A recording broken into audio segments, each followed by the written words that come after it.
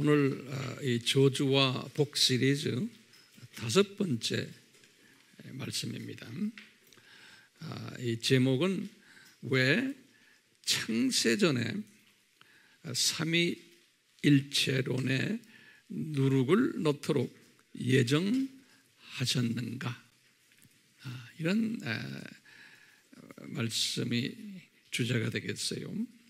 마태복음 13장 33절에서 35절의 말씀을 근거로 해서 말씀을 드리겠어요. 오늘 말씀은 좀 상당히 어려운 부분이 좀 있기 때문에 미리 준비를 하시길 바래요. 우리가 지난 시간에는 창세전에 삼위 하나님이 계셨다라는 말씀을 나눴는데요. 아, 어떤 모습으로 계셨나라고 질문을 우리가 지난 시간에 던졌는데요. 그럴 때 삼위의 모습으로 계셨다 이렇게 말씀드렸어요. 그 어떻게 삼위라는 것을 압니까? 라고 또 질문을 던지면 그분의 이름 속에서 알 수 있다 그랬어요. 그 이름이 뭐냐? 엘로힘이라는 이름 그 자체가 복수형으로 되어 있어요. 예. 그런데 항상 단수 동사를 받는다. 그 말은 한 하나님이신데 한 분의 하나님이신데 세 분의 인격체로 존재하신다. 이런 말씀을 지난번에 했어요. One God in three persons 이렇게 그래서 원가시기 때문에 단수 동사를 받으신다 그랬어요. 그래서 이제 이 세 분의 인격체라는 것은 어떻게 알 수 있는가? 라고 또 질문을 던지면 성서에 제가 한 여섯 가지 성경 구조를 드렸어요. 거기에 하나를 더 보태면은 마태복음 3장 16절도 보태면 되겠어요. 이제 예수님이 세례 요한에게 세례를 받으실 때 삼위 하나님이 예, 함께 계신 말씀이에요. 아, 삼위 하나님에 대한 성경 구절을 제가 다 드렸어요 지난 시간에.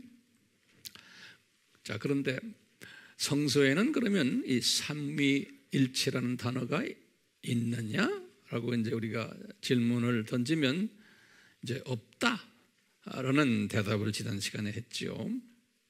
네. 이제 그러는 가운데 기독교의 초대 교회 400년 역사를 우리가 섭렵을 했는데 그 400년 역사를 이렇게 보면요. 이 삼위 하나님이 잘 정돈되지를 아, 못했어요. 그 400년 동안. 그래서 온갖 이단들이 난무했어요.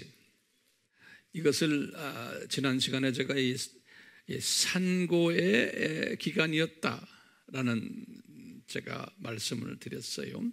400년 동안 이 산고의 기간을 거의 끝냈을 때쯤 돼서 아, 이제 기쁜 소식이 이제 나오게 돼 있는데 우리가 산고라는 거는 아, 기쁜 소식이 이제 나오는 아, 그 전에 있는 아픔이죠. 그 기쁜 소식을 어떤 모양으로 아, 낳게 했냐면 4대 공의회를 통해서 니케아 325년 건스탄티노플 381년 에베소 431년, 칼케돈 451년. 우리 지난 시간에 했죠. 네. 특히 요 컨스탄티노플 공의에서 갑바도기아 3인에 의해서 예, 삼위일체의 단어를 아, 채택해 하고 아, 삼위일체의 교리를 어느 정도 정립케 했어요. 컨스탄티노플 공회에서요. 그리고는 칼케톤 공회에서 이제 삼위일체를 정식 공표했어요. 그래서 그때부터 이 삼위일체에 반하는 어떤 아, 단체든 이단으로 정제를 아, 했어요. 그래서 제가 지난 시간에도 말씀드렸지만 이 칼케톤 공회는 아, 기독교 역사에서 상당히 중요한 공의회예요. 몇 년이었어요? 451년이요. 그러니까 예수님이 승천에 올라가신 것이 주후 30년이니까 주후 30년에서부터 451년 약 한 400년 기간이 네. 드디어 삼위일체라는 그러한 그 학설이 어느 정도 어, 정립이 됐던 거예요. 그러면 우리의 질문이 있어요. 질문 중에 첫 번째 질문은 왜 400년이라는 긴 기간 동안 예, 산고를 허락하셨나? 이 삼위일체에 관한 정돈을 예수님이 예수님 계셨을 때 한번 쫙 가르쳐 주셨으면 얼마나 좋았어요? 또는 예수님께서 사복음서에다가 삼위일체라는 단어를 딱 적게 하시고 삼위 하나님에 대해서 예수님이 자세히 쉽게 설명해 주셨으면 이런 400년의 고통이 없었을 텐데 왜 안 가르쳐 주셨나? 또는 그 유명한 사도 바울이 수많은 편지를 이제 썼는데 사도 바울의 그 기독교 교리 편지들 속에 왜 삼위일체라는 단어를 아, 안 기록하게 하셨나? 이런 모든 우리의 질문들이 우리를 떠나질 않아요. 다 이분들에게 가르쳐 줬으면 아, 지금도 우리가 삼위일체에 대해서 혼란이 많은데 그 당시는 말할 것도 없이 이런 혼란을 겪지를 않았을 텐데라는 질문이에요. 아, 그 400년 동안의 산고의 내용과 그러면 해결 방법을 어떻게 했나요? 한번 다시 간단히 보시면은 이 산고를 어떻게 산고를 하게 했냐면 첫 번째는 여러 가지 이단 학설들을 양산케 하셨어요. 이 400년 동안요. 이단 학설들을 그 이단 학설들은 여러분들 다 공부했어요. 그리고는 이것 때문에 크리스천들이 400년 동안 혼동케 되고 분열케 되고 또 다투게 되고 또 서로 적대시하는 일들을 이야기시켰어요. 400년 동안. 이 때문에 많은 크리스천들을 실족해 하는 일까지도 이야기시켰어요. 그러므로 해서 자연이 도대체 이 진짜 아, 이 삼위일체 진짜 기독 론이 무언가에 대한 갈급한 아, 마음을 가지게끔 만들었어요. 그 400년 동안 그 갈급성 때문에 이 또 앞에 나오는 모든 문제들 때문에 사대 공회를 열게끔 우리 예수님께서 인도하셨던 거예요. 그래서 이 사대 공회를 통해서 어느 정도 어, 혼돈이 정돈이 됐고 분열도 어, 연합되게 되었고 또 다툼도 화평케 되었고 또 적대시다던 것이 동료 의식을 가지게끔 되었어요. 우리 알다시피 4대 공회에서 다루었던 주 토픽, 주 내용이 무엇냐면 뭐 몇 가지 있지만 가장 중요한 것이 이 삼위일체론과 그 다음에 기독론이 예수님이 도대체 누군가에 대한 이슈들 가지고 이 사대 공회에서 주로 다루었어요. 이 산고의 주제가 그랬어요. 왜냐하면 사탄이 이 두 주제를 집중적으로 공격을 했었어요. 똑같아요. 오늘날도 마찬가지인데. 근데 우리 질문이 또 있는 거예요. 자, 이 질문이 중요한 질문이에요. 우리 지난 시간에 공부한 내용에 내가 얹혀서 지금 말씀드리는 거예요. 첫 번째 질문은 뭐냐? 1세기 때 또는 이 400년 동안 보면요. 교회가 아, 그 안에 똑똑한 신학자들도 많았고 그 안에 정령 성령 충만한 사람들도 많았는데 그런데 왜 이 사람들이 이 삼위일체론과 기독론을 정돈을 못했을까? 이분들이 이 400년 동안 기라성 같은 신학자들이 그 기간에 상당히 많았는데 뭐 이 사람들이 이 삼위일체론과 기독론을 정돈을 하지를 못하는 거예요. 자, 그러면 우리 질문의 첫 번째 질문은 뭐냐? 그 당시에 그 400년 동안 그분들은 정돈할 수 있는 모든 재료들, 자원들을 성서적 자원들을 가지고 있었어요. 정돈할 수 있는 모든 인포메이션들을 가지고 있었어요. 어떤 거냐? 구약을 딱 보면요. 이 사람들이 구약이 그 당시에 있었어요. 구약은 지난 시간에 봤지만 주후 90년에 이미 단권으로 만들어졌어요. 그렇죠? 얌니야라는 데서 거기가 어디예요? 얌니야? 이스라엘의 요빠 바로 밑에 지금의 텔아비브 바로 한 20km 남쪽에 있는 얌니아에서 단권으로 39권의 구약이 만들어졌어요. 그러 이분들은 1세기 때 지금 기독교인들은 이미 구약을 가지고 있었어요. 2세기 때, 3세기 때, 4세기 이 400년 동안의 기독교인들이 이 구약을 가지고 있었어요. 그럼 구약 안을 딱 들여다보면은 거기에 보면은 우리 알다시피 엘로힘이라는 하나님의 이름이 나와요. 그것만 딱 봐도 삼위 하나님이죠. 그 다음에 우리라는 단어들이 쭉 성경 구절 우리가 봤죠.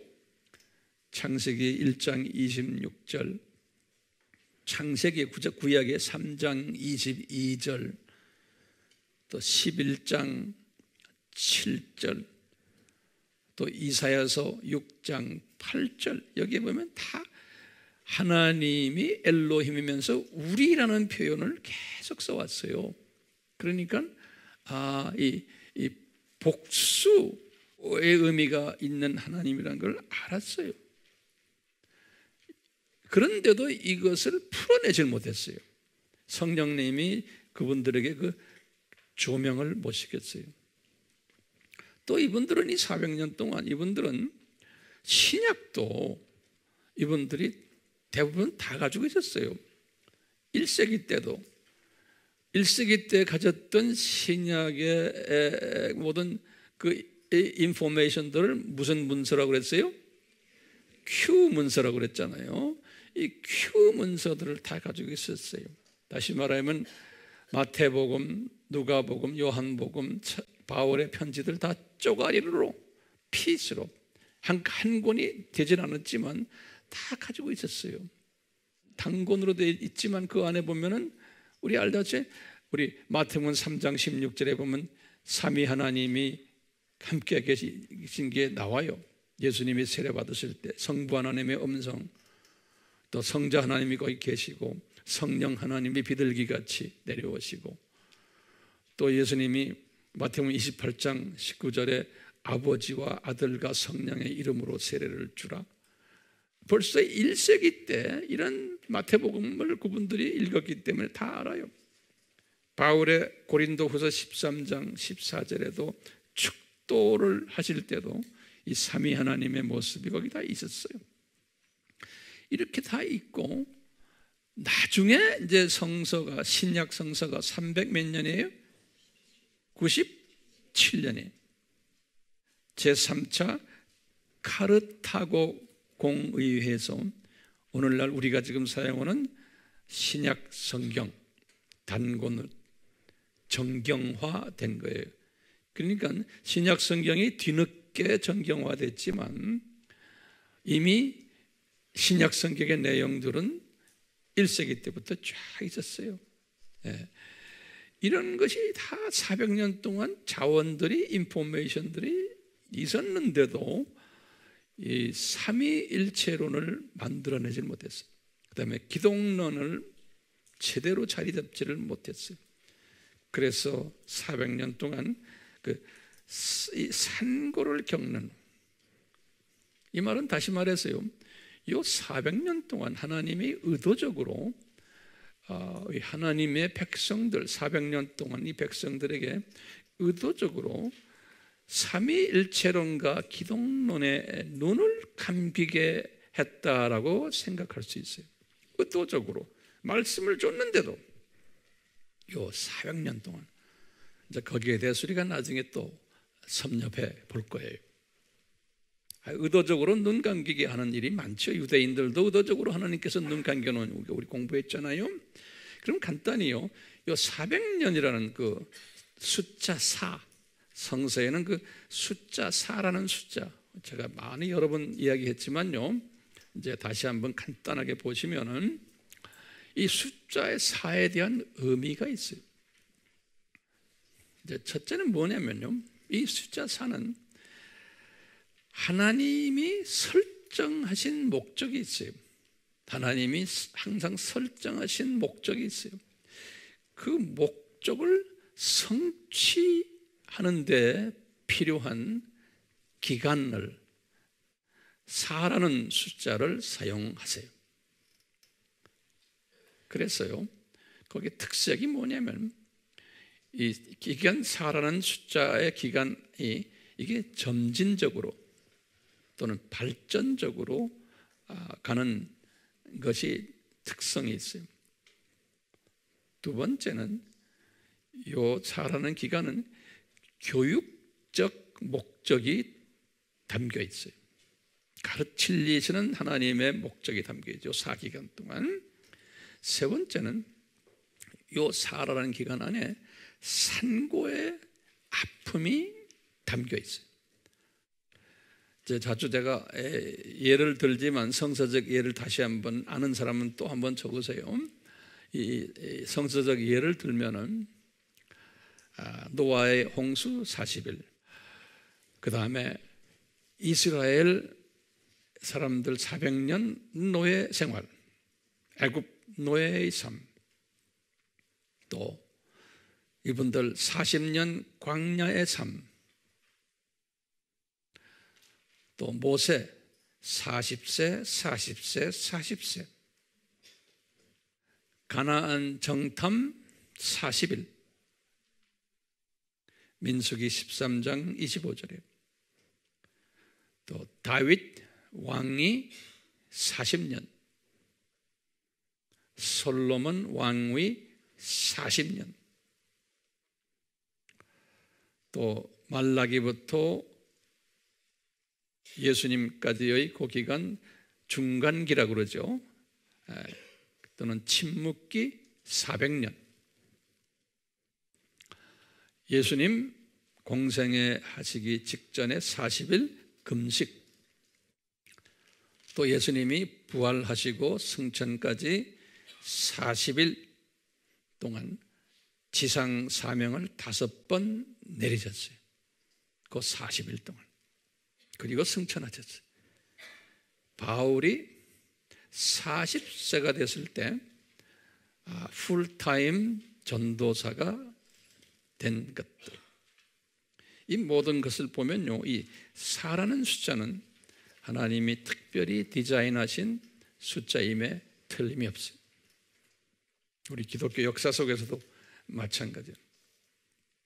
그러면 이 첫, 이 400년이 지나서 아, 이 산고를 이제 끝내면서 항상 기쁜 소식이 따라오게 됐죠. 그러니까 첫 400년 후 아, 기쁜 소식이 무엇이었나? 어떤 기쁜 소식이었나? 그 내용이 무엇이었나? 라고 우리 한번 질문을 던지면은 아, 이 기쁜 소식은 성서적으로 정돈된 또는 신학적으로 변증된 예, 삼위일체예요. 기독론이 다시 말해요. 성서적으로 정돈되고 신학적으로 변증된 삼위일체론과 기독론을 선물로 받았어요. 400년 후에 드디어 그러면 어디에서 선물을 받았나? 이렇게 우리 한번 물어보면 뭐라 그래요? 칼케톤 공회에서.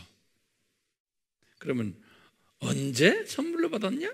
그러면 451년에 그렇게 다 적어 놓으세요. 그러면 이 삼위일체론의 선물 내용은 무엇냐? 무슨 내용이 담겨 있느냐? 그러면 이렇게 우리가 쉽게 한 분의 하나님이시고 삼위로 존재하신다. 아, 위는 인격체라고 이렇게 보시면 되겠어요. One God in three persons. 이 부분을 아, 선물로 받았고, 그 다음에 이제 기독론에서의 선물은 무슨 선물이에요?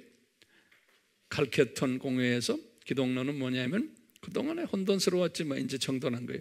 예수님은 100% 하나님이시다. 다시 말하면 아, 완전한 100% 신성이신 예수님이. 그 다음에 동시에 33년 동안은 100% 인간이 되셨다. 100% 인성 되신 하나님. 이것이 기독교의 핵심 교리인데 드디어 이 칼케톤 공회에서 기독교의 핵심 교리가 설정이 된 거예요. 예수님 승천하시고 400년 후에. 예. 그러니까 이제 이게 기독교의 역사적 공의회예요. 그래서 우리 크리스천들은 아, 꼭뭐 신학자들만이 아니고 여러분들도 요 다른 공의회는 잊어버려도 괜찮지만 무슨 공의회요? 칼케톤이요. 칼을 찬 케톤이라고 하죠. 음? 칼케톤 공회는 몇 년에? 451년. 그런데 지금 문제가 있어요. 이 칼케톤 공의회로서 산고가 끝나면 얼마나 좋아요? 그렇죠? 근데 이 칼케톤 공예가 이런 좋은 공예로서 정평이 나 있지만 이 칼케톤 공예가 또 저질렀던 큰 오류가 있었어요. 그 오류를 제가 한번 말을 만들어 봤어요. 이것을 신학적인 용어예요. 칼케톤, 칼케톤 누룩이다. 이렇게 한번 성서적인 표현이죠. 칼케톤 이건 황 목사님이 만들어낸 이야기니까요. 많은 부분에서 아, 이런 표현들을 주님이 이렇게 저에게 이렇게 딱 지혜를 주셔서 내가 이제 만들어낸 게 많아요. 그런데 이제 목회자들이나 신학자들이 우리 웹에 들어와서 이제 공부하면서 목사님 참 많이 배웁니다. 그럴 때마다 조금 아하 제가 만들어낸 것을 그래도 아, 주님이 사용하시는구나 이렇게 만드는다는 게뭐 특별한 게 아니고 이해를 돕기 위해서 만드는 하나의 표현이에요. 예. 아, 칼케톤 뭐에 누룩이라고 표현해요. 칼케톤 누룩이. 이 칼케톤 누룩이 뭐냐면요. 이분들이 만들어낸 것이 마리아 신학을 만들어낸 거예요. 예. 이 칼케톤 공회에서 마리아 신학을 만들어내고 두 번째는 무슨 신학을 만들었냐면 단성론 좀 이따 좀 설명할게요. 또 양성론 이 두 론이 양립해 가지고 이 안에서 논쟁이 일어났었어요. 이 칼케톤 공회에서 단성론과 양선론 논쟁 이 논쟁에서만 끝난 게 아니고 그거를 통해서 교회가 그 당시에 로마 제국에 있었던 교회가 둘로 짝 갈라져 버렸어요. 예, 두큰 그룹으로 갈라졌어요. 제가 좀 이따 이제 그 말씀드리겠지만요. 예, 제가 왜 누룩이라는 표현을 썼냐면요. 한번 적어보세요. 누룩이라는 것은 예수님이 마태복음 16장 12절에 예수님이 누룩이 무엇이라고 예수님이 직접 설명하셨어요. 뭐라 그랬냐면 요거 잘 들으시고 잘 이걸 소화하시고 외우셔야 돼요. 그냥 누룩이 아니고 예수님이 이 누룩은 바리새인들과 이 사두개인들의 가르침이다 그랬어요. 요 누룩을 그럼 우리가 또 한 단계 더 가는 거예요. 도대체 그 당시에 예수님 당시에 예수님 당시의 바리새인들과 사두개인들이 무엇을 가르쳤느냐? 이분들의 신 신론에 문제가 있었어요. 이분들의 신론 무슨 문제냐면 이 바리새인들과 사두개인들은 열심히 신앙생활 율법은 지키지만 이분들이 신론에 문제가 있었어요. 무슨 문제 있었냐? 이분들은 삼위일체를 인정하지 않는 거예요. 이분들은 성부 하나님만 인정하는 유대 유대교 사람들이에요. 유대교에 성부 하나님만 인정하고 삼위일체를 인정하지 않는 거예요. 구약의 우리들 우리들 엘로힘이라는 이러한 단어가 있는데도 이 사람들은 눈이 감겨가지고 이, 이, 이 성부 하나님만 인정하는 그러한 우를 범한 사람들이에요. 열심은 있는데 그리고는 이분들은 기독론이 없었어요. 다시 말하면 삼위 중에 한 분이 인간으로 내려오셔서 창세전에 이미 다 디자인하셨는데 이 삼위 중에 한 분이 인간이 되어 있어서 십자가에서 저주를 받을 것을 이미 예언하셨는데 이것을 믿질 않는 거예요. 다시 말하면 삼위 하나님을 믿지 않고 그 중에 제2위 하나님인 예수님이 인간이 되셔서 이런 저주를 받음으로 우리가 복을 다시 회복될, 회복받을 것이라는 이, 이 신비를 믿지 않았던 사람들이에요. 그러면 다시 말해요. 누룩은 뭐예요? 바리새인들과 사두개인들의 신론이에요. 신론. 이분들의 가르침이에요. 이 신론은 뭐냐? 삼위일체를 어, 부정하는 거고 단지 그냥 성부 하나님만 인정하는 그리고는 기독론을 예수님을 하나님으로 보지 않는 그 가르침을 누룩이라 그러는 거예요. 정리됐어요? 그러니까 이 칼케톤에서 지금 마리아 누룩을 만들어낸 거예요. 마리아 누룩. 이 마리아 누룩은 지금 잘 들으세요. 이 마리아 누룩은 이분들은 삼위일체를 이미 만들어낸 사람들이에요. 그렇죠? 그 삼위일체다가 마리아 누룩을 또 첨가시킨 거예요. 거기다가. 그러니까 이게 살짝 첨가시켰어요. 그래가지고 이 삼위일체의 그, 그 본질을 흐리게 만들어 놓은 거예요. 이것 때문에 나중에 엄청난 일들이 일어나는 건 나중에 제가 또 말씀드릴게요. 또, 그 다음에 무슨 누룩이라고 그랬어요?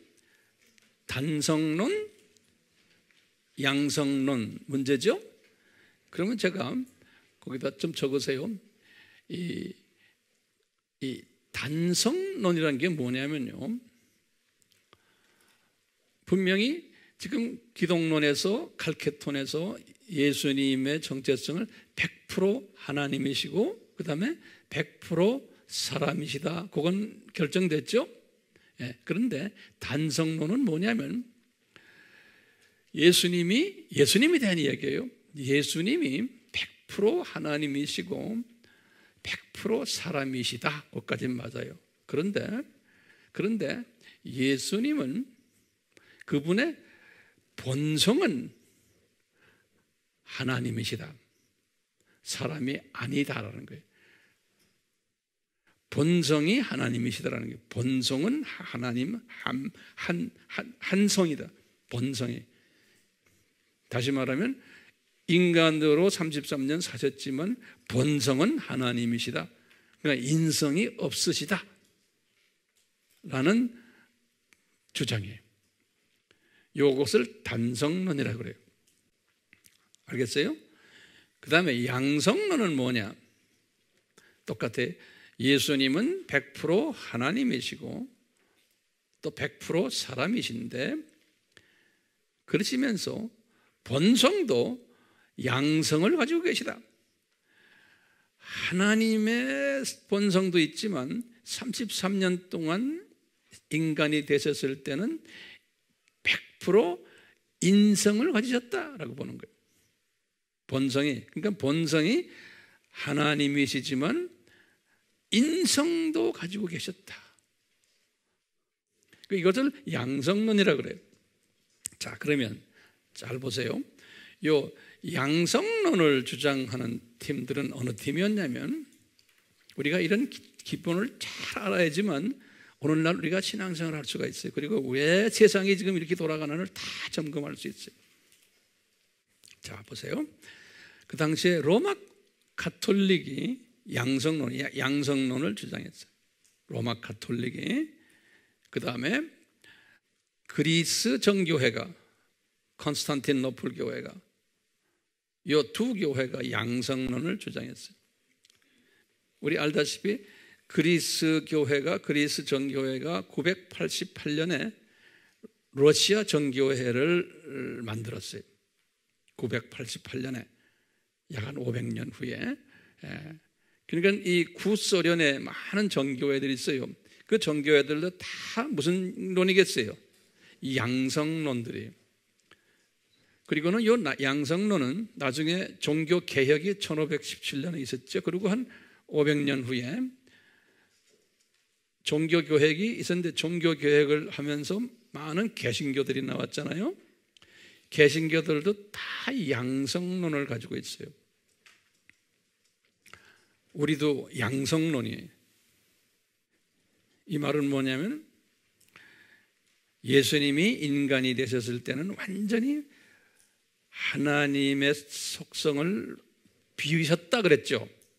그래서 우리가 각 자주 쓰는 성서 구절이 빌립보서 2장 7절이 그렇죠? 요거 다 적어 놓으세요. 이거 굉장히 중요한 개념이에요. 많은 사람들이 여기다 질문해요. 이게 혼돈이 돼 가지고요. 예. 그러니까 예수님이 33년 동안 계셨을 때는 완전히 신성을 비워놓으시고 완전히 사람이 됐었기 때문에 이분은 기도를 하지 않으면 힘이 없는 거예요. 완전 사람이 됐기 때문에. 그러니까 매일 기도하는 거예요. 금식하시고 아버지에게서 성령의 그 충만함을 받으셔야 돼요. 천사의 도움도 받으셔야 되고 예. 그래서 예수님의 그 완전히 인간 되신 모습들 성서에서 쫙 우리가 봤고 우리가 예수님의 인성에 대해서도 장시간 제가 여러분들에게 강의했어요. 특히 기독론을 공부하시면요. 이것이 대단히 중요해 신학에서는 예수님의 성서를 해석하는 부분에서 자 그런데 이쪽에 지금 단성론 쪽의 사람들은 어떤 분들이냐면 그 당시에 애굽 꼽딕 교회라고 그래. 꼽딕이라는 거는 C O P T I C 꼽 C O P T I C 그죠? 껍딕 그래요. 꼽딕 한국말로는 꼽딕이라고 그래요. 이 꼽딕이라는 게 뭐냐면 애굽 족속들 많은 족속 중에 꼽딕 족속이 있는데 그 사람들이 복음을 제일 먼저 받은 족속이에요. 그래서 그분들이 주로 어, 이 마가가 이제 43년에 그곳에 가서 복음 전했거든요. 마가가 43년에 그 마가의 영적 후손들이 꼽딕 지금도 꼽딕 교회라고 그 사람들은 꼭 그걸 붙여요. 그이 꼽딕 교회가 어, 요거 단성론자들이 오케이? 그다음에 꼽딕 교회 같이 그 바로 밑에 보면 에치오피아 교회가 있어요. 에치오피아 전교회도 단성론이에요. 그리고 위로 올라가서 우리 안디옥이 그걸 시리아 전교회라고 그래요. 지금도요. 시리아 전교회도 단성론이에요. 그리고 아르메니아 전교회. 그러니까 이 전교회들은 상당히 오래된 전교회들이에요. 예. 이분들은 이분들을 단성론자라고 그러는 거예요. 이분들을 에, 분류해서 뭐라고 부르냐면 오리엔탈 오토덕 철치라고 그래요. 오리엔탈 그걸 Oriental Orthodox란 말은 정교회란 뜻이에요. 오리엔탈 동양 정교회 한국말로는 이렇게 번역이 됐을 거예요. 아, 그리고는 저쪽에 그리스 정교회 또는 그리스 정교회 또 어, 하나의 어, 자손인 러시아 정교회 이런 정교회들은 옛, 옛 구소련 정교회들을 뭐라고 부르냐면 동쪽에 있다고 그래서 유럽의 동쪽에 있다고 그래서 동방정교회 그래요. Eastern Orthodox Church 그래. 동방정교회 이렇게들 우리가 부르죠. 그러니까 Oriental Orthodox 동방정교회가 같아요? 달라요? 달라요. 이거 다른 거 우리가 다 알아야 돼요. 네. 신학이 다른 거예요. 신학이 삼위일체는 같은데 뭐가 달라요? 기독론에서 이 단성론, 양성론의 차이가 있는 거예요. 그렇기 때문에 이쪽에 지금 이 단성론자들은 예수님을 딱 볼 때 어떻게 보냐면 예수님의 인성 부분을 인정하지 않아요. 그분은 100% 사람이셨다. 그렇지만 그분의 본성은 사람이 아니라고 보는 거예요. 그러니까 우리가 고전에 이단들은 뭐해서 예수님은 100% 사람이다. 그렇죠? 이 사람들은 지금 이건 뭐에 가르쳤던 이후에는 100% 사람이다, 100% 하나님이다, 그까지 되는데 본성은 사람이 아니다라고 보는 게 여기 단성에 오케이? 그렇기 때문에 이, 이 사복음서나 에, 특히 예수님의 그 생활이나 예수님의 모든 그 가르침을 이렇게 볼 때 이제 이 해석에 문제가 생기는 거예요. 예를 들어서 예수님이 우리가 게세마니 동산에서 어, 막 그냥 그 인간적인 약한 부분을 막 기도하면서 보여주셨잖아요. 또 이제 예수님이 십자가상에서 어, 엘리 엘리 라마 사막다니 아버지 아버지 왜 나를 이렇게 버리십니까? 이럴 때 이것을 어떻게 우리가 소화해 이거예요. 이 단성론자들은 이거 소화를 못하는 거예요. 왜? 하나님이신데 본성이 어떻게 하나님이 이렇게 사람들 앞에 이렇게 약한 모습을 보여주느냐? 이거를 소화를 못하는 거예요. 어떻게 하나님인데 가끔가다 나사렛이 죽었을 때 눈물도 흘리시고 여러 가지 인간의 그, 그 모습들 보여줬을 때 이분들의 해석이 약해요. 그렇기 때문에 이분들은 그러다 보니까 이 단성론자들은 어떻게 하냐면 이분들은 뭐 했냐면 이분들의 신학은 그렇기 때문에 이 세상과 가까이 하려 들지 않고 이 크리스천들은 은둔의 삶이에요. 수도원 삶을 그분들은 좋아했어요. 그래서 이 선교도 별로 하지 않고 항상 그 예수님의 신성 부분에만 아, 집중을 하다 보니까 교회들이 발전을 하지 못했어요. 교회들이. 그 지금도 그, 그 세력이 그렇게 크지가 않은 거예요. 자, 그렇기 때문에요. 요 지금 칼케톤 공회가 첫 400년 동안의 산고는 잘 해결했어요. 그 산고 해결한 게 어떤 부분에서 해결했어요?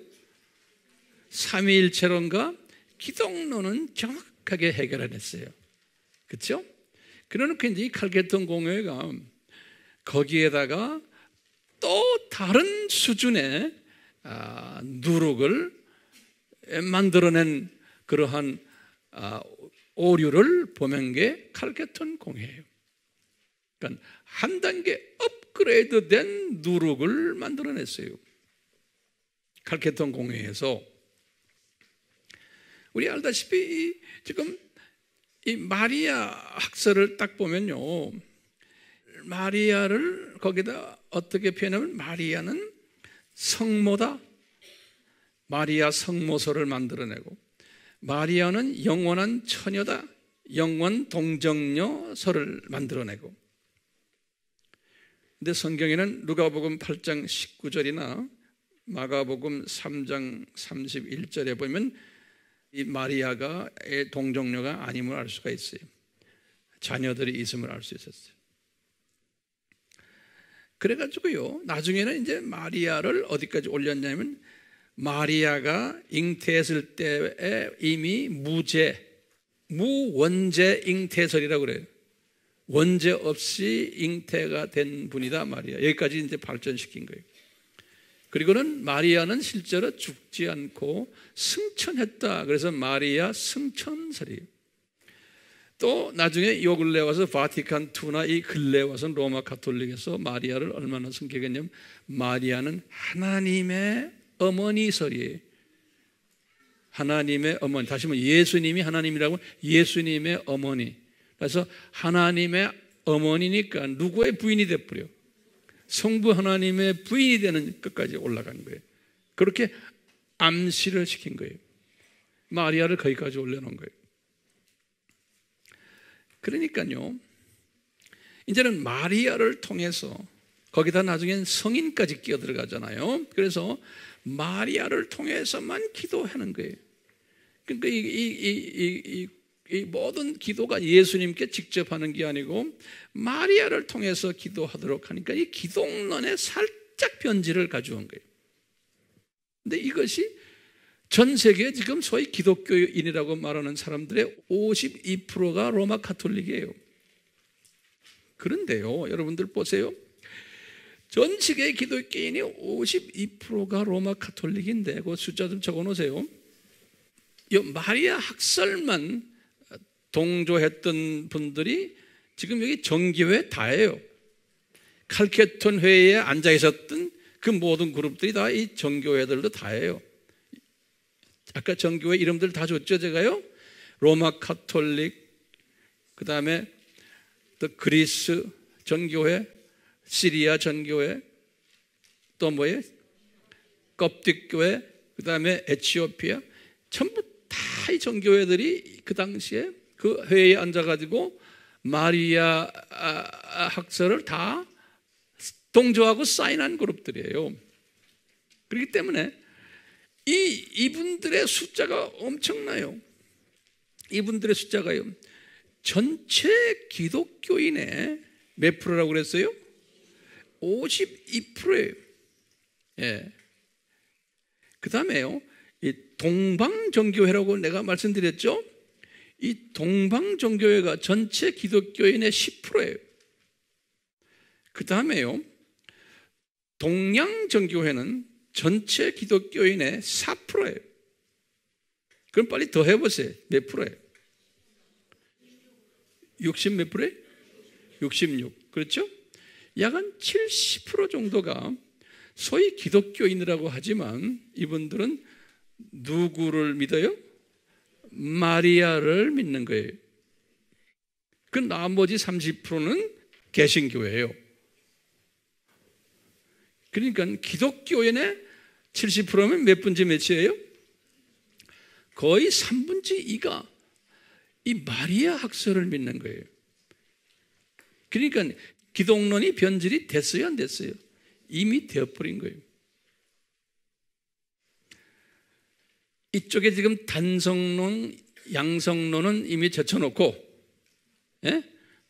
이미 양성론을 말하는 이 그룹들도 다 마리아는 다 accept라는 거예요. 그것이 지금 보세요. 첫 400년 그걸 우리가 초대교회라고 그래요. 초대교회. 그리고는 그 다음에 500년부터 그 다음 500년, 1000년까지예요. 거기에서 또 어디까지? 종교교회까지. 다중간 500년에서 종교 개혁까지가 1000년이죠. 그렇죠? 1517년. 그러니까 시대를 무슨 시대라고 그러냐면 우리 역사에서 중세라고 그래요. 중세. 초대, 그 다음에 중세, 중세. 잘 따라오세요? 예. 예, 중세 때는 마리아 학설이 엄청나게 강했어요. 기독교 안에. 그 당시엔 개신교가 없었을 때예요. 그러니까 마리아 경배하고 성인 경배하고 또는 성인 유물을 경배하고 또 고해 성사 또 화채설 연옥설 연옥이라는 것은 죽어서 당장 낙원 가는 게 아니고 연옥에 가가지고 또 살아있는 사람들이 그분을 위해서 많이 교회에다 헌금을 하거나 좋은 일을 하거나 또는 거기에서도 열심히 또 노력을 하거나 이래서 이제 간다는 그러한 설이 연옥설이. 그 다음에 우리 면제부 나중에 면제부 종교교육 바로 직전에 이런 모든 변질된 마리아 학설들이 그 천년 동안 중세 동안에 있었어요. 그뿐 아니라 이 마리아 학설과 같이 이 교황, 이 교황에 대한 특별한 누룩이 있었어요.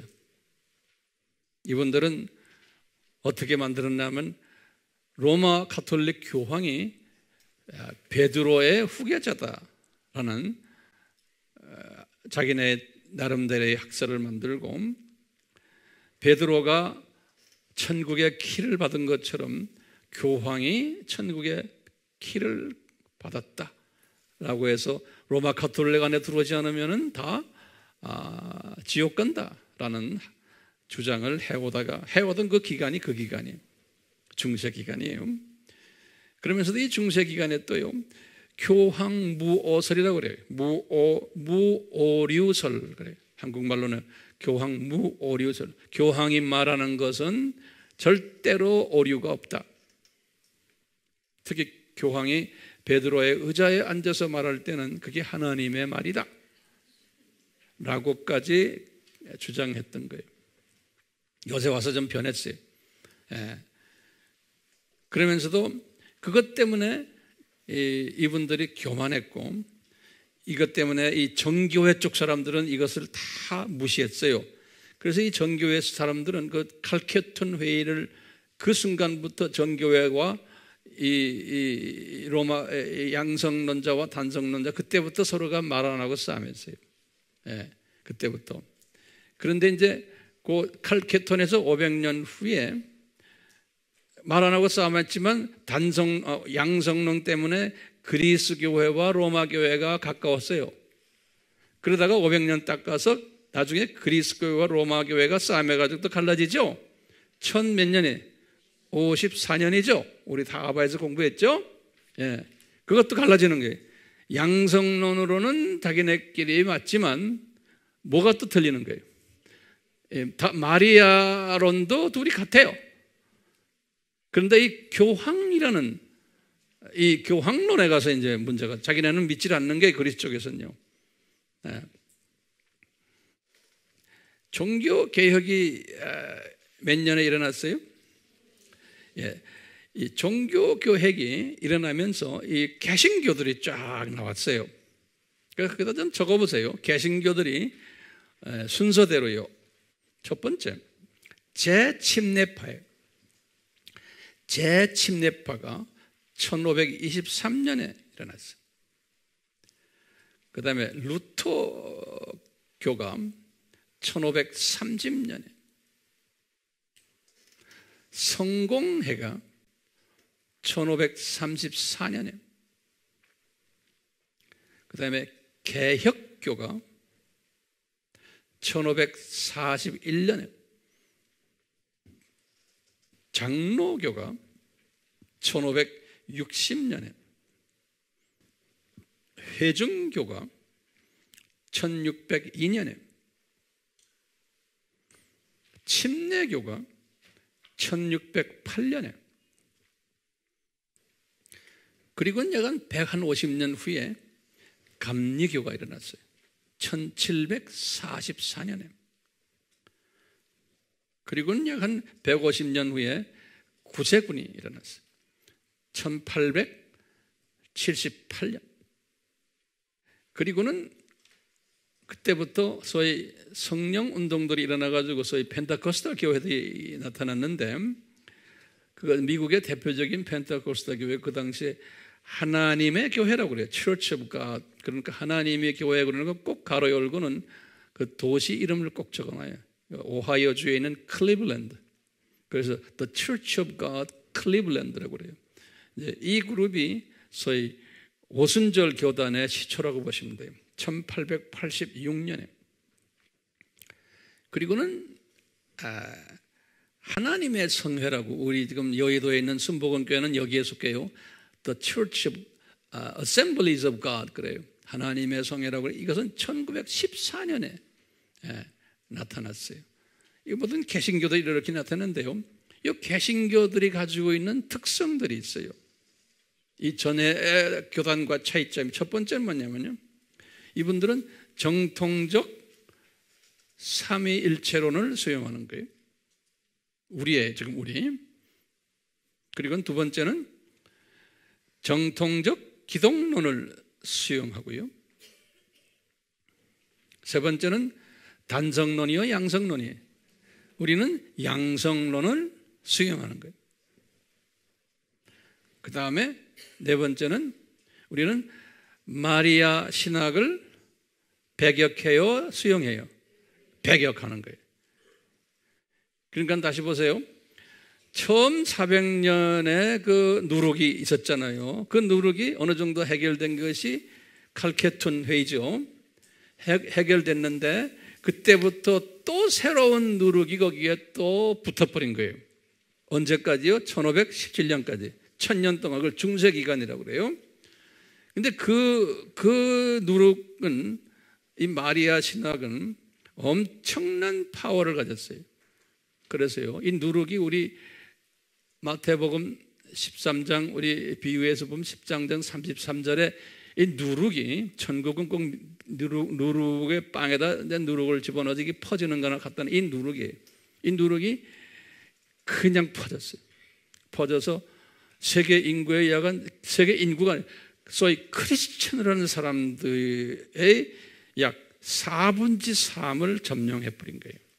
이 마리아 누룩이 신기하죠? 네. 자, 이렇게 해서 중세 시대 때의 누룩이라는 것이 있어가지고 또 산고를 겪은 거예요. 중세 시대 때 이 누룩 마리아 사상을 가지고 상고를 겪다가 기쁜 소식이 뭐예요? 종교 개혁인 거예요. 오케이? 첫 처음에 초대 교회 시대의 기쁜 소식은 어디에서 일어났어요?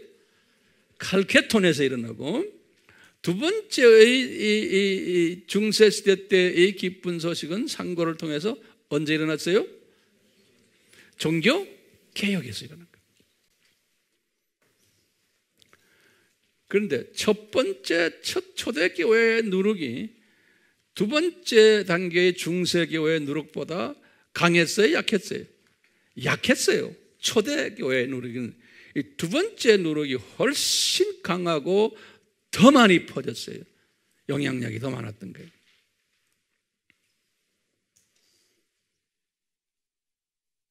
그러면 이제 종교 개혁 후에부터 지금 예수님의 재림까지 이 기간을 현대 현대 교회라고 그래요. 현대 교회. 이 현대 교회는 또 새로운 누룩이 나타나기 시작한 거예요. 근데 이 누룩은 첫 번째, 두 번째보다도 더 강한 누룩이에요. 이렇게 다 예수님이 디자인하셨어요. 자, 이 누룩이 어디서부터 시작하냐면 종교개혁이 딱 일어났을 때 로마 카톨릭이 엄청난 어려움을 경험했어요. 왜냐하면 많은 로마 카톨릭의 멤버들이 이 개신교로 옮겨간 거예요. 교인 많이 빼앗겼어요. 그리고는 자기네의 위신이 다 떨어져 버리고 자기네 그, 그 추한 부분들이 이렇게 나타나고 이제 다 이제 우리 예수님의 계획이지만 이러다 보면서 이 로마 카톨릭을 재건해야 되겠다라는 재건 운동이 여기저기에서 일어나기 시작했어요. 재건 운동 플러스 개신교를 말살해 버리자. 저놈들 아, 사탄의 자녀들이다라는 그 기치를 들고 그것이 대표적으로 일어난 그 로마 카톨릭 안에는 여러 가지 order라 그래요. ORD 그러니까 아, 무슨 회 무슨 회 Dominican Order 또는 뭐 Franciscan Order, Jesuit Order 이런 게 오더 오더라고 그러는데 영어로는요 한국말로는 무슨 회 무슨 회 이 조직들이 있을 거 안에 로마 카톨릭 교황 밑에 조직들이 있는데 그 안에 새로운 조직이 하나 나, 타난 것이 예수회라고 그러는 거예요. 제스윗 그래 제스윗 예수회가 창설이 됐어요. 이 일을 해결하기 위해서 스페인 사람이에요.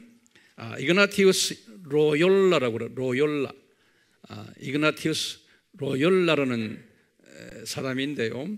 이 사람이 중심이 돼가지고 1534년에 창설했어요. 예수회를 종교개혁 17년 후에요. 1534년에 그래가지고 1540년에 그 당시에 로마 교황이 바오로 3세인데 이분의 공식 승인을 받았어요. 그래가지고는 그 다음에 41년부터 이분들이 선교사들을 내보내기 시작한 거예요. 왜냐하면 이미 개신교가 그때부터 선교사들을 내보내기 시작했기 때문에 거기에 맞불을 지르기 위해서. 그런데 이 중에 이제 그 유명한 선교사가 있어요. 아, 자비어라는 사람이 있는데, 자, 사비 한국말은 사비어라는 X O X, X 영어 X A V victory I E R 자비어라고 그래요. 예. 사비에르 본래는 사비에르인데 영어로는 자비어 그래요. 예, 프란시스 자비어 그런 이, 이 사람이 굉장히 유명한 사람이에요.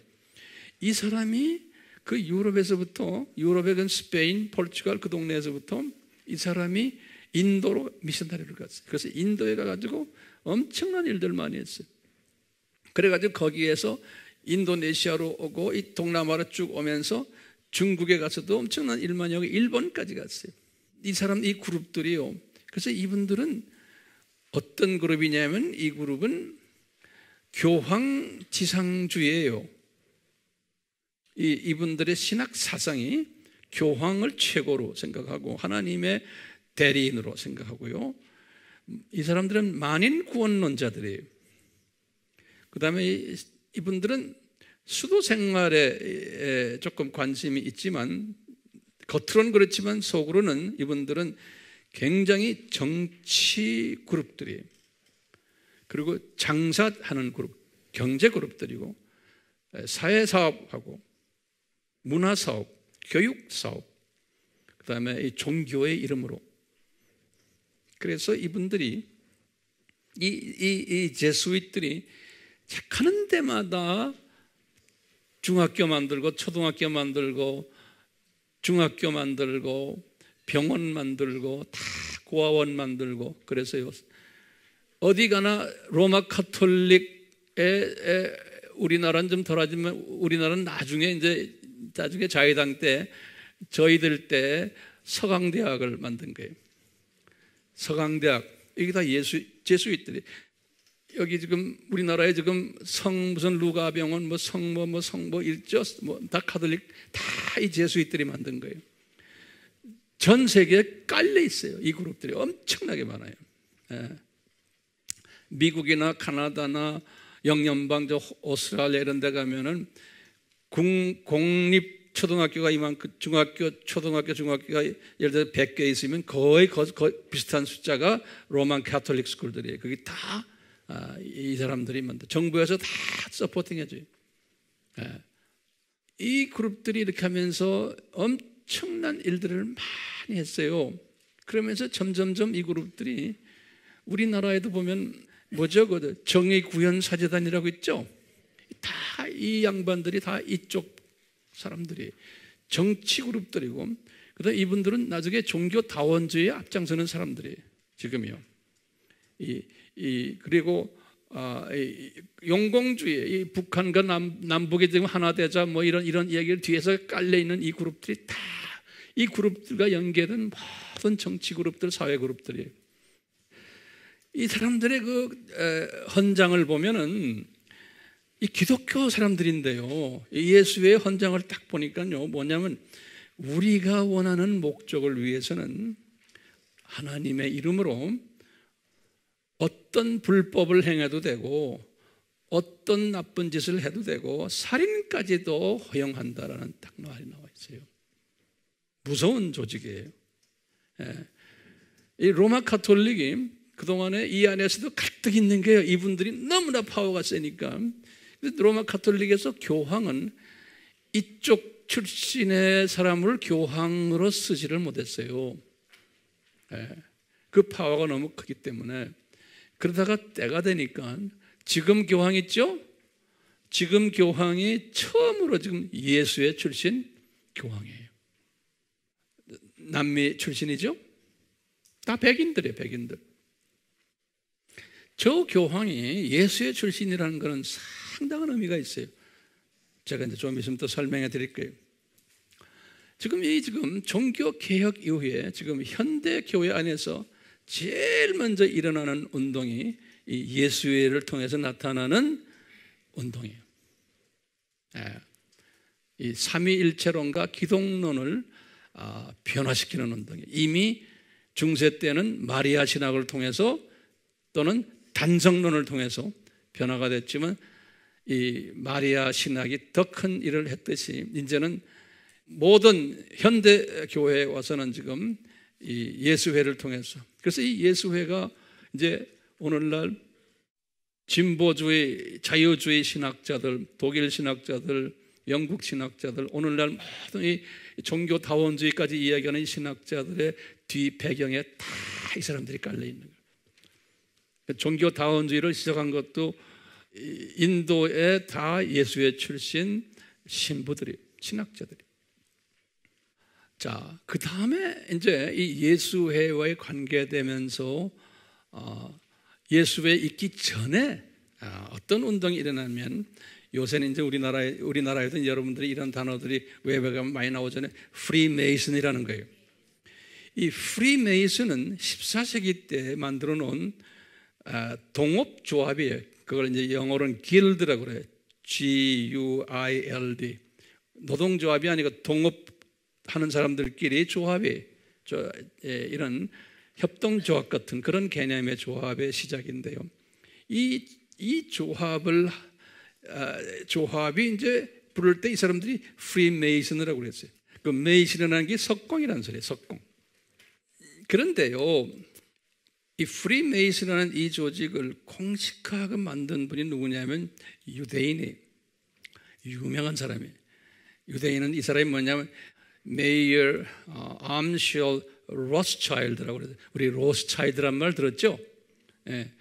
R O T H S child 우리 어린아이 C H I L D 로스차일드란 이게 지금 이분은 지금 전 세계에서 제일 돈이 많은 사람.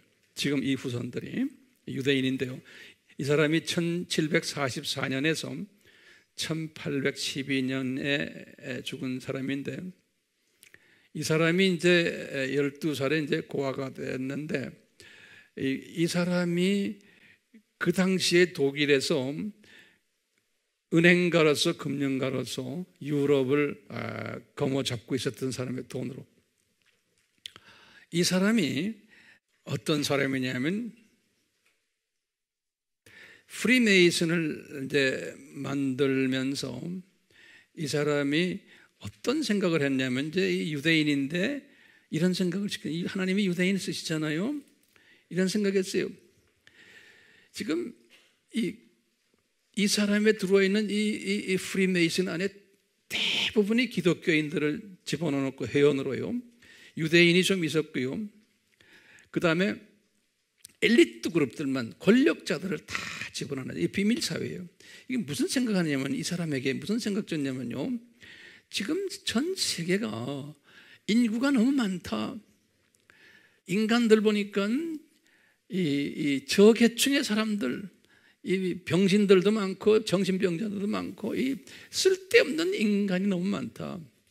이 땅을 이, 이, 이, 이 땅을 천국으로 만들어야 되는데 우리가 이 전쟁 없이 정말 편안하게 살려면 저희 이게 무슨 주의예요? 후천년 주의예요. 이 땅을 천국화 만드는 거예요. 이 세상. 그럴 때 인간의 행복이 온다는 거예요. 그렇기 때문에 이 땅을 천국화를 하려고 그러면 이 땅에 착한 못난 것들을 다 없애버려야 된다는 거예요. 사람부터 병신들, 무슨 유전병 있는 사람들, 또 뭐 아프리카인이 다른 가난한 나라 이런 사람들 다 없애버려야 된다는 거예요.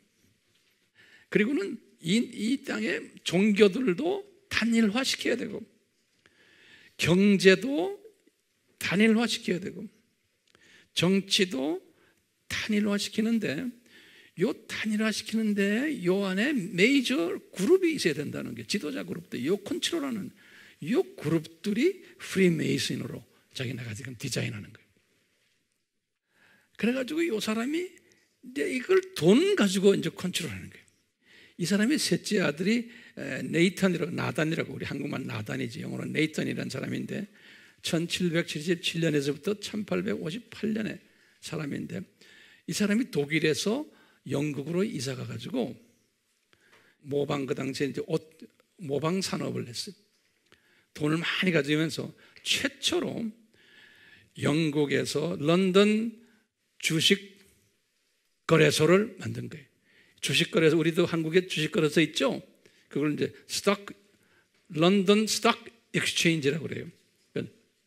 인간 역사 최초로 소위 주식 거래소를 그 당시에는 영국이 영국과 독일이 세계의 모든 센터였기 때문에 그러면서 이 주식을 가지고서 경제 세계 경제를 이렇게 잡았다 놨다는 일을 이 사람이 한 거예요.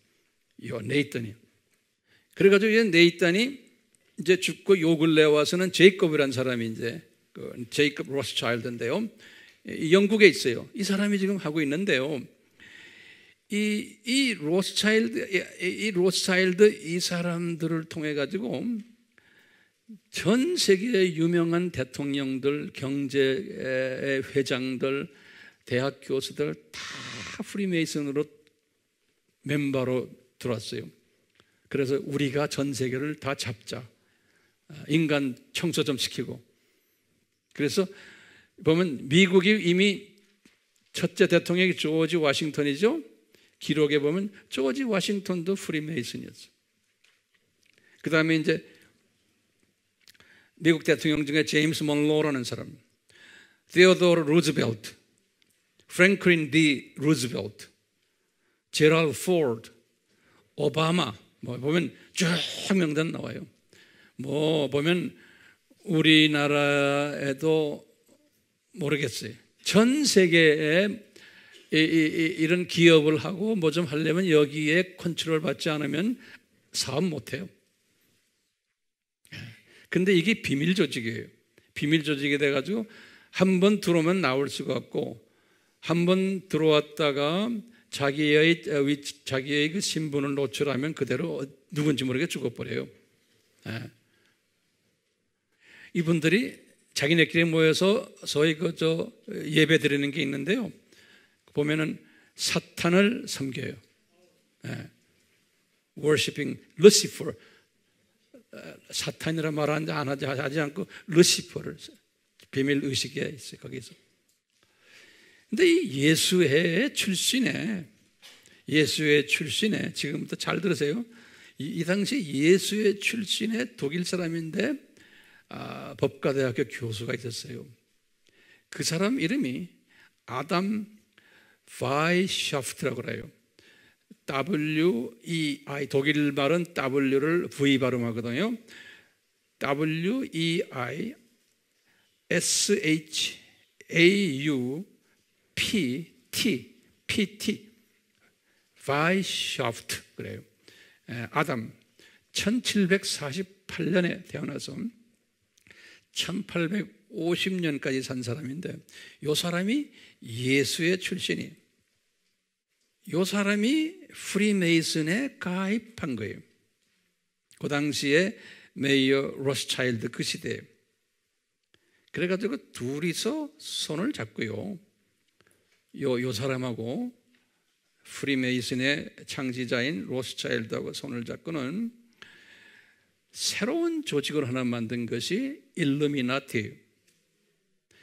일루미나티란 말은 라틴 말로 enlightened one 다시 말하면 깨달은 자들 그런 소리. 아, 깨달은 자들. 요 일루미나티의 창설을 아, 했는데 거기에 앞장선 사람이 지금 요 독일 사람 요 사람이 아, 일루미나티의 창설자가 요 사람이 요 사람이 누구였죠? 아담 바이샤프트 유명한 사람이 요 사람이 언제 창설했냐면 5월 1일 1776년이에요. 5월 1일. 왜 요 5월 1일이 요 5월 1일 요것이 나중에 전 세계의 공산당의 창립이고 노동절까지 된 거예요. 전 세계에. 그래서 이제 아담이 이렇게 해가지고 이것이 다 종교 그룹과도 로마 카톨릭 왜 예수회와 연결되어 있는 게다그 로마 카톨릭과 다 연계가 된. 음. 이 일루미나티가 이렇게 하다가 이게 미국으로 들어와 가지고요. 나중에 20세기 초에 1913년에 미국에 가장 돈 많은 사람이 있었어요. 그 당시에 그게 존 락커펠러라고 그래요. 우리 록펠러라고 그러죠? 네. 1839년에서 1937년에 이, 이 록펠러 이, 이 양반이 일루미나티에 들어갔어요. 그래가지고 이, 이 록펠러가 일루미나티에 들어와가지고 뭐 했냐면 FRB라고 미국의 연방 준비 은행이라고 그래요. Federal Reserve Board라고요. 이게 이게 뭐냐면 겉으로 보면은 미국의 중앙은행 같은데 아니에요. 이거는 완전히 일루미나티가 지고 있는 아, IMF가 다 이런 이 밑에 다 있어. IMF니 월드뱅크니 다. 이, 미국의 그 FRD가 지금도 전 세계의 경제를 지고 있는 사람이에요. 우리나라도 예전에 IMF 맞았잖아요. 다 얘들 조정에 의해서. 그러니까 우리 한국이 뭐 중, 중국도 마찬가지고 얘들의 손에 달려 있어요. 얘들 손에. 그래서 저는 이렇게 보면서 우리 지금 남북 지금 이거 있죠? 이것도 지금 누구 손에 달려 있는지 아세요? 뭐 예수님 손에 달려 있지만 예수님께서 이놈들을 사용해. 이게 이게 지금 오늘날의 제일 큰 누룩이에요. 제가 지금 누룩 이야기하다 보니까 이렇게 일루미나티 누룩, 프리메이슨 누룩, 그 안에 기독교인들이 다 인볼브되어 있고 기독교의 유명 목사들 오늘날 대부분의 사람들이 이 안에 들어가야지만 대형 교회를 할 수 있고 이 안에 들어와야지만 출세할 수 있고가 안 그래 그래요. 빠질지 못하게 돼 있어요. 자, 이 특색을 보면요, 프리메이슨은요, 이 일루미나티 특색, 일루미나티는 그 안에 프리메이슨 그룹도 있고 예수의 그룹도 이렇게 깔려 있어요, 같이. 근데 제일 큰 조직이 그 일루미나티라고 보시면 돼요. 예. 이제 예일 대학교에 가면요. 미국의 하버드니 예일이니 프린스턴이 다 그 교수들이고 뭐고 다 여기 전부 다 속해 있어요. 신학 대학들 그러니까 다 진보주의로 가는 거예요. 안 가면 안 되게 돼 있어요. 예. 그렇기 때문에요. 이, 이, 이, 저, 그 중에 그 예일 대학에 보면 여러분들 웹에 들어가면 백골단이라고 백골단. 예. 영어로는 뭐라 쓰면 skull and bones라고 그랬어요. skull and bones society 그랬죠. 백골 단인데 겉으로 보면 백골단 백골 그려놓고 이게 다이 이 그룹의 일루미나티의 하나의 branch들의 가지들이에요. 이게 다 예일 대학에 그 다 지식인들 돈 많은 사람들이 그 안에 다 들어있어요. 이분들은 루시퍼를 숭배하고 이분들은 지금 꿈이 뭐면 세계 인구가 지금 몇십억이에요? 75억이에요 지금요. 근데 이분들은 꿈이 뭐냐면 세계 인구를 5억으로 줄이자는 거예요. 그러기 위해서는 전쟁 일으켜야 되고, 예? 이 모든 여러 가지 계획들이 많아요. 그래서 지상 천국을 만들 자는 데 있는 거예요. 그렇기 때문에요. 이, 이 록펠러가 아까 미국의 그, 그 출신들이 이, 이 FRDB 아까 그랬죠 연방 준비 은행을 컨트롤하면서 미국 달러를 만들 때 우리 미, 화 일부를 딱 보면 나오죠. 미화 일부를 딱 보면 거기에 다 이 그룹들의 사진들이 있어요. 거기에 이제 딱 뒷면을 보면은 라틴 말로 뭐라고 써 있냐면요. Novus N-O-V-O-S 이게 라틴 말이에요. 그 다음에 Ordo O-R-D-O 그 다음에 S-E-C-L-O-R-U-M 거기 뭐냐면 Novus란 말은 이건 new라는 거죠. new 새롭다는 새가. 그 다음에 오르도는 오도의 오도 질서. 그 다음에 세클러룸은 세계를 이야기할 때서 세계. 우리 세큘라 그러잖아요. 예? 이게 다 여기서 나온 말이에요. 예. 다시 말하면 New World Order예요 이거 한국말로 뭐냐면 신세계 질서. 이렇게 써요. 그 미국 돈에다가 딱 그렇게 써놨어요 이게, 이게, 이게 어디서 컨트롤해요? 이 연방준비은행에서 다 하는 거예요 근데 이게 엘리미나티처럼 다시 말하면 전 세계를 새롭게 만들겠다는 거예요. 인구를 확 줄이고 예, 컨트롤하겠다는 거예요. 그러니까 이 사람들은 후천년주의자들이 그랬죠. 이 사람들이 지금 기독교를 기독교에 들어와 가지고요. 기독교의 WCC가 다 여기와 연계되어 있는 거예요.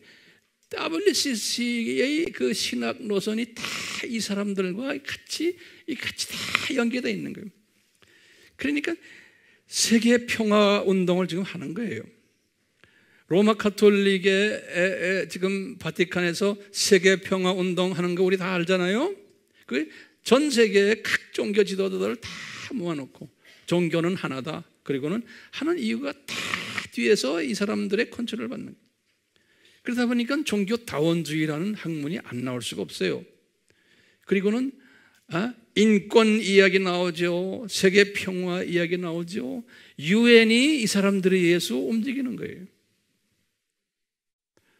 전 세계의 선진국의 모든 언론기관은 다 여기에 속해 있어요. 언론기관은. 그러니까 이 진보 그룹에 미국의 신기한 것은 이건 하나님의 특별한 무슨 계획이 있는 게 틀림없는 게 트럼프는 여기에 안 속했어요. 그 양반은 그러니까 트럼프가 대통령 나올 때 상당한 어려움이 있었던 거예요. 이 사람은 자기가 돈이 있으니까 그 배짱으로 나왔는데 하나님의 특별한 기름 부으심이 있는 게 틀림없어요. 예, 그 밑에 오바마니 클린턴이 다 이쪽 동네 사람들인데 그렇기 때문에 트럼프가 당에서도 어, 인기가 없었고 그 당시에 미국의 40개의 언론기관에서 트럼프를 미는 음, 언론기관은 딱 팍스 뉴스 하나밖에 없었어요. 네, 지금도 마찬가지. 근데 이 트럼프는 무슨 배짱인지 주님이 주신 배짱이에요. 우리가 인간적으로 보면 뭐 그분 뭐 여자 뭐 많고 뭐 여러 가지 골치 아픈 게 많잖아요. 그런 약한 게 있으면서도 주님이 그 양반을 좀 쓰고 계신 거예요. 네. 배짱 대단하잖아요. 자, 내가 이런 말을 하는 이유가 있어요. 이런 모든 부분들을 보면서 우리가요, 요한계시록 13장에 보면 두 짐승이 나와요. 요한복음, 요한계시록 13장에 에, 제가 이제 언제 기회 있을 때 요한계시록 이제 이 부분을 대해서 제가 심도 있게 이제 언제 공부할 때가 와요. 오늘은 시간이 없으니까 안 하지만 대강 만만 잠깐 보세요. 이 13장에서 나오는 두 짐승이 있는데 한 짐승은 1절에 보면요. 바다에서 나오는 짐승이고 그다음에 이제 11절에 보면 땅에서 올라오는 또 다른 짐승이 있어요. 근데 땅에서 올라오는 짐승을 보면은 아주 종교 지도자의 모습으로 쫙 나오는 거예요. 그래서 도대체 이 짐승이 누구냐, 이 짐승이 누구냐 여러 가지로 지금 뭐 학설이 엄청나게 많아요. 뭐 그건 다 그렇고요. 이제 제가 딱 볼 때는 첫 짐승은 처음의 짐승은 내가 볼 때는 일루미나티가 아닌가 보고 있어요. 100% 예, 확실치는 않지만 지금 제가 기도 중에 있어요. 이제 거기에 대해서 자세하게 제가 이제 언젠가는 설명할 거예요. 두 번째 심정은 아, 로마 카톨릭 또는 예수회와 관계되는 또는 거기에 WCC와 관계되는 종교 그룹이에요.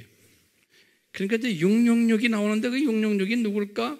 뭐 여러 가지 나오지만 여러 다양적인 의미가 있지만 여기에서는 우리가 문자적으로 그대로 보면은 666은 로마 카톨릭의 교황 같아요. 그러니까 이 모습들이 이 계시록 13장에서 쫙 나오면서 이런 것들이 있을 것을 예수님이 예언하셨거든요. 이게 예수님의 디자인 아닙니까? 예? 근데 그런 것들이 지금 우리 눈앞에 지금 보이기 시작하는 거예요. 그러니까 예수님의 재림이 가까운 때 이런 일들이 지금 코앞에서 지금 우리 앞에서 일어나는데 이러다가 이놈들이 나중에 17장, 18장에 가면은 이놈들이 누구냐? 큰 성 바벨론이라는 거예요. 그래서 큰 성 바벨론이라는 단어를 쳤을 때는 아하, 우리가 처음 바벨론 종교가 님으로부터 시작했죠? 종교의, 저, 우리 종교의 기원, 우리 공부했잖아요. 책에 있잖아요? 그거 다 공부했죠? 쭉 나오다가 지금 오늘날까지 이렇게 이게 큰 성 바벨론이 된 거예요. 모든 종교들이 합혀지고 모든 정치 파워와 경제 파워와 정치 모든 게다 합혀져가지고 큰 짐승이 된 거예요. 이 큰 성 바벨론이 이제는 무너질 때가 온다는 거예요. 이것이 이제 그냥 무너지는 것이 17장, 18장 그래서 큰 음녀를 이제 무너질 때가 오는 거예요. 이게 무너지면서 19장에 보니까 예수님이 지상 재림하는 모습을 요한이 본 거예요. 큰 성 바벨론이 무너지면서 예수님이 공중에서 다다다다 내려오는 지상 재림이 이제 나타나는 장면이 요한계시록의 순서를 보면 그렇거든요. 그렇기 때문에 우리가 지금 이 큰 성 바벨론 요 요놈들이 까불고 있는 요때 우리가 지금 살고 있다고 보는 거예요.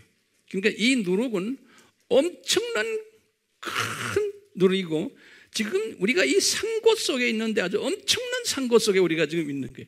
이 큰 틀 안에서 지금 남북 문제도 우리가 봐야 되는 거예요. 우리는 어쩌다 보면 그냥 우리 우리 남북 문제만 보고 이러고 전 세계가 돌아가는 걸 지금 보지 못할 때가 있는 거예요. 예. 이 남북 문제도 이게 지금 이스라엘과 연계되어 있고 이게 다른 나라들과 다 연계되어 있어요. 연계되어 있어요. 이게 그냥 간단하게 해결되는 문제가 아니에요. 이렇게 딱 보면은 제가 제가 결론적이에요.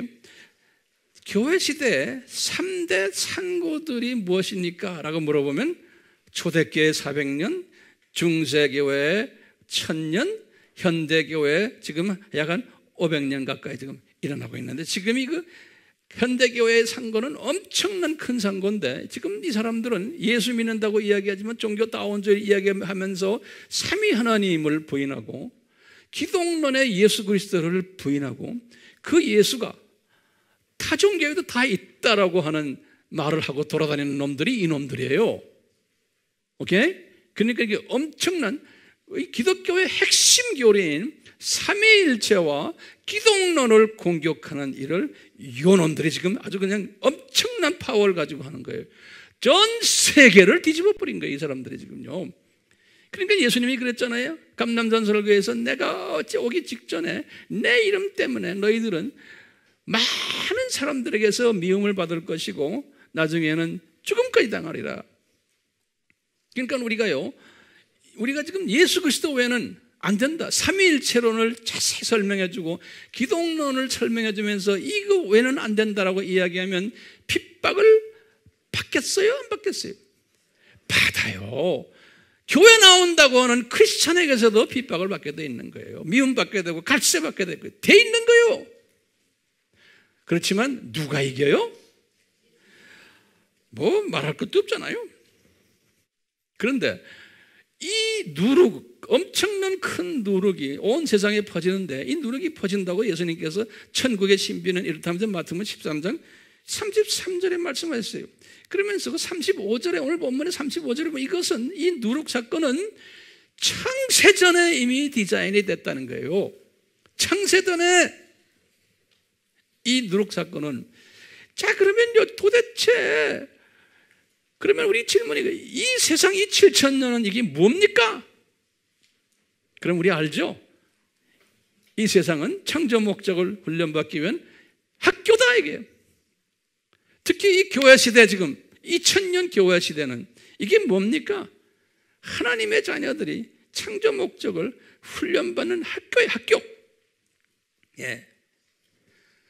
요 학교인데 요 학교인데도 이 안에서 하나님의 자녀들이 공부를 하는데 이 누룩들 때문에 엄청난 공부를 힘들게 공부하면서 지금까지 온 거예요. 내가 여러분들은 2000년 산 게 아니에요, 교회 시대에. 고작해야 70년, 80년 살다가 우리는 우리 동네 고향으로 가요. 잠깐 있는 동안에 이 훈련을 받고 이 안에서 이게 아니다, 이게 아니다 이러면서 하다가 그냥 올라가는 거예요. 그렇죠? 지금 우리가요, 고작해요. 여러분들도 나도 7, 80이면 나도 이제 곧 갈 때가 됐어요. 이 세상은 뭐예요? 우리는 나그네로 잠깐 와서 이 하나님의 창조 목적과 하나님의 정체성이 가장 중요한 정체성이 삼위일체론과 기독론이에요. 이 훈련 받으라 이 땅으로 던져진 거예요, 우리가요. 그래야 저 동네 올라가 가지고 예수님을 딱 보고 삼위 하나님 보고 성령 보면 아하, 인지 알겠네요. 저 땅에서 이거 가지고 그냥 위치락 위치락 했는데 아, 그거 가르치시려고 이렇게 했군요. 뭐 프리메이슨 이거 뭐 일루미나요? 아, 저놈의 새끼들 사용하셔가지고 이거 하시느라 그랬네요. 아, 칼케톤 회의 알겠어요. 종교 개혁 아, 알겠어요. 왜 그랬는지. 이런 시각을 가지시라고 내가 지금 이렇게 여기서도 떠드는 거예요, 내가 지금요. 이런 시각 가지시라고. 네, 떠든다는 말 이상하네. 음? 그런데요, 같은 기독교인인데 이 시각을 가진 사람은 아주 소수예요. 같은 기독교인인데 왜 그래요? 제가 지난주에 우리 주파수 이야기했어요. 이 주파수요. 이, 주, 이, 이 시각을 가지려면, 이 큰 시각을 가지려면은 1층 천 주파수, 2층 천 주파수, 3층 천 주파수를 다 갖고 있어야 돼요. 내가요. 이야기했죠? 우리가 AM, FM, 예? 단파, 이런 주파수들, 그런 주파수들은 이게 1층 천 정도, 이 동네 주파수들이에요. 예. 사람이 고작해야 사람이 고작해야 가지고 있는 주파수는 그 이성을 가진 주파수는 무슨 대, 무슨 뭐라 그래서 그 다섯 가지 제가 드렸죠. 예? 뭐예요? 알파, 데타, 세타, 감마, 감마하고 데타 정도의 주파수가 사람의 이성, 머리, 이성을 발전시키는 주파수예요. 예, 그거는 100헤르츠 미만이에요. 100헤르츠. 그러니까 지성을 가지고 이성을 가지고서 아 내가 그거 뭐내 어쩌고 어쩌고 뭐 아, 내가 박사학위 가지고 있는데 내가 뭐 경험 많은 내가 까불지 마 그러는 거예요. 예. 그러니까요 꼭 무슨 소리냐면요 우리가 저 누에 고추 있죠 누에 꼬치 누에 꼬치의 주파수의 이야기예요. 누에 꼬치가 좀 있다가 부부에서 나비가 돼가지고 온 천지를 돌아다녀. 이 나비 주파수가 없는 거예요. 우리 많은 기독교인들이 그 누에고추 수준에서 세상을 보다가 저, 저 동네를 가요. 근데 우리는 거기서 팍 나와가지고 나비 주파수를 가져야 되거든. 근데 나비 주파수를 가지려면은 예수님이 이건 조건이 있다는 거예요. 같은 기독교인이지만 그래서 마태복음 5장에서 그런 거예요. 너희들이 복 있는 사람은 우리 산상수훈의 팔복 있잖아요. 거기에 분명히 가르쳐 주는 거예요.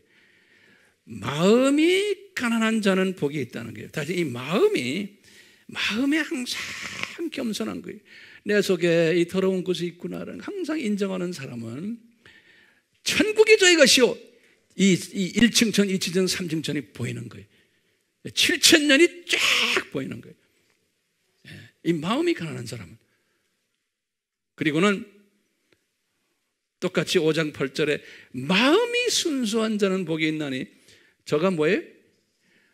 하나님을 볼 것이요. 저쪽 주파수가 하나님의 주파수가요. 쫙 나에게 임해가지고 내가 그냥 시각에 엄청난 변화를 가지게 된다. 시각에. 예. 그렇기 때문에요. 이게 아무나 보는 게 아닌 거예요. 지금 오늘 지금 이런 말씀을 통해서요. 지금 우리가 지금 주파수를 주파수를 더 멀리 보내고 그 강한 하늘의 주파수 성령님이 이 주파수가 나에게 와도 내가 그것을 받을 수신기가 안 돼 있으면 안 되잖아요. 그 수신기가 뭡니까? 마음이 순수해야 된다는 거예요. 네. 마음이 단순해지고 순수해졌을 때 이런 주파수를 가질 수 있다는 거예요. 네? 이게 내가 지금 오늘 결론의 말씀이에요. 그러니까 이 주파수를 가진 사람은요, 이 세상을 보는 시각이 이런 거예요. 아, 이 세상은 하나님의 자녀들을 창조 목적을 훈련시키기 위해서 특히 그 중에 가장 중요한 아주 필수 과목이 뭐예요? 삼위일체론과 기독론이. 이 필수 과목은 이건 꼭 공부해야 되는 거예요. 그러려면은 이 필수 과목 공부를 시키려고 예? 지금 누룩을 세 단계로 해서 누룩을 보여주고 마지막 때는 엄청난 노력을 지금 우리 지금 앞에 전개시키고 있는 거예요. 엄청난 큰 노력을. 이 노력 안에서도 우리는 아하 여기에 끄떡하지 않고 이 누룩을 내가 위에서 딱 내려다보는 그 주파수 가진 실력 있는 사람이 되라는 거예요. 이 세상을 지배하는 그렇기 때문에요. 이런 사람이 되기 위해서는 내 노력만 가지고 안 되죠. 뭐가 있어야 돼요? 은혜가 따라와야 돼요. 이 은혜가 따라온 사람들은 아, 창세전에 삼위일체론의 기독론에 누룩을 놓도록 예정하셨구나. 오늘날 현대 신학을 한다고 하고 까불까불하는 그 신학자들 보면요. 뭐 임마니엘 칸트니 뭐 틸리히니 뭐 이런 이런 놈들 뭐 독일 놈들 뭐 유명하다 그러고 얼마 전에도 뭐 신학자들끼리 토론하는데 이걸 가지고 사연에 토론해 내가 이거 딱 보면서 아이고 이 몬둥이 새끼들아 내가 속으로 그랬어. 응? 이 신학자 놈들이 뭘 가지고 이야기하냐면 하나님이 존재하느냐 안 하느냐 이거 가지고 서로 싸움하는 거예요. 그러니까 진보 사람들은 뭐냐면 아이 칸트도 그랬고 틸리도 그랬고 뭐 어쩌고 누구도 그렇고 이런 놈들이 다 하나님이 존재하지 않는다. 하나님이라는 것은 내 마음이 마음에 의해서 내가 인식하는 거지. 하나님이 존재한다고 인식할 때 하나님이 내 속에 있는 거지. 실제로 존재하는 것이 아니라고 보는 소위 철학적 사변, 랭귀지, 언어 장난들을 하고 앉아 있는 거예요. 지금 오늘날 신학자들이 다 그래요. 그러니까 그놈들이 쓴 글을 읽어보면 이게 무슨 성을 글을 썼는지 내가 알 길이 없어. 그런데도 다 유명하대. 문둥이 같은 새끼들이 말이야. 전부 이렇다 그러니까 오늘날 뭐 유명하다는 사람 글 읽어보면은 읽어야 이게 무슨 소리인지도 뭐 몰라야지만 실력이 있대. 이 문둥이 같은 새끼들 이렇게 놀려지기네. 나도 학자지만 학자적인 시각으로 보면 이게 논리에 안 맞는 거야. 그런데 그런 놈들이 더 유명한 학자야. 그러니까 이 세상이 더 어두워서 그래. 봉사들끼리 봉사란 말 뭐죠? 시각장애들끼리 지네끼리 복을 못 복을 아 이거 괜찮대. 지금 세상이 그렇게 되어버렸어요. 그러니까 우리는요 하나님의 은혜를 받아서 이 세상을 직시할 수 있는 그런 사람이 되어야 되잖아요. 예? 그렇죠? 그러려면 마음이 깨끗해져야 되고. 그래서 우리가 찬송 때 내가 또 계속 말하죠. 저기서 보내주시는 그 빛을 내가 받아야 돼요. 계속해서. 그러게 이 빛을 받으면 내 하트를 이게 순수하게 만들어주는 말씀 속에서도. 지금 이 시간은 우리 예수 그리스도의 무한하신 은혜와 하나님 아버지의 극진하신 사랑하심과 성령님의 끊임없이 비치게 하심과 비춰주심과 또 그 비침을 받아 우리의 시각이 1, 2, 3층까지 올라왔다 내려왔다 하는 그러한 복된 자들 되기를 주님의 이름으로 예수님의 이름으로 축원하옵나이다. 아멘.